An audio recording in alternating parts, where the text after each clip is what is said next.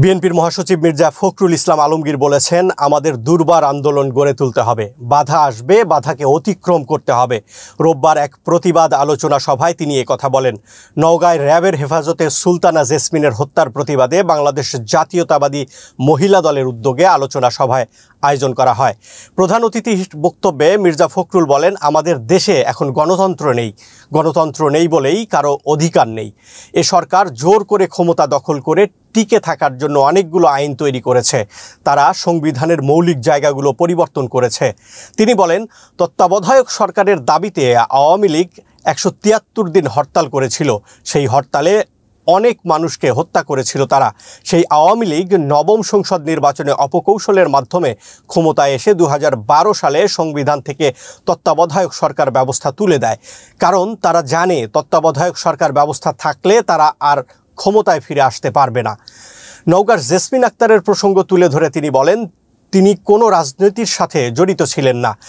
একজন যুগ্ম সচিবের কথায় তাকে রাস্তা থেকে তুলে নিয়ে যাওয়া হলো। এটা কোনো সভ্য দেশে হতে পারে না। একজন নাগরিক ও সরকারি কর্মকর্তাকে এভাবে তুলে নিয়ে যাওয়া ভয়াবহ আইনের লঙ্ঘন।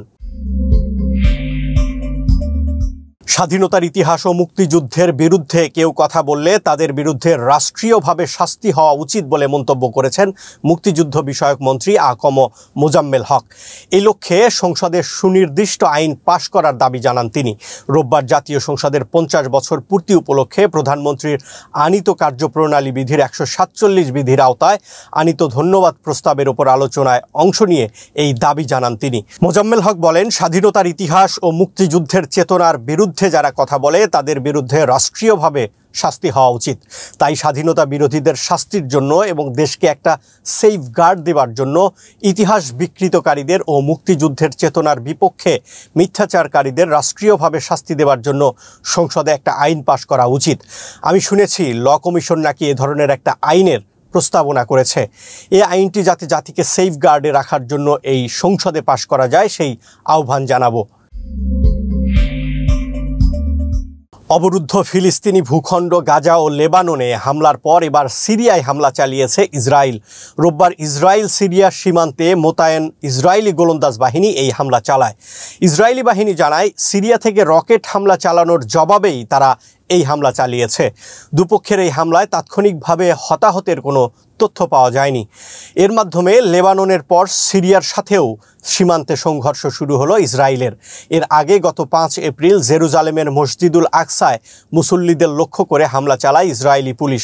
অন্যদিকে অবরুদ্ধ গাজা উপত্যকায় বিমান হামলা চালায় ইসরায়েল। এর জেরে গাজা উপত্যকা ও লেবানন থেকে ইসরায়েলের ভূমি লক্ষ্য করে রকেট হামলা চালানো হয়। ঘটনার ধারাবাহিকতায় পরিস্থিতি সহিংস হয়ে ওঠে। তুরস্কের প্রেসিডেন্ট রজব তায়েব এরদোগান বলেছেন, জেরুজালেমে মসজিদুল আকসায় হামলার মুখে তার দেশ চুপ করে বসে থাকতে পারে না। শনিবার ইসরায়েলের প্রেসিডেন্ট আইজ্যাক হ্যারজগের সাথে এক ফোনালাপে এই কথা বলেন তিনি। প্রেসিডেন্ট এরদোগান বলেন, মসজিদুল আকসায় ইসরায়েলের বাহিনীর সাম্প্রতিক এই হামলা শুধু মুসলমানদেরই নয়, প্রত্যেক মানুষের মনেই ক্ষত সৃষ্টি করেছে। তিনি বলেন, এই প্রেক্ষাপটে তুরস্ক কখনোই নীরব বসে থাকতে পারবে না।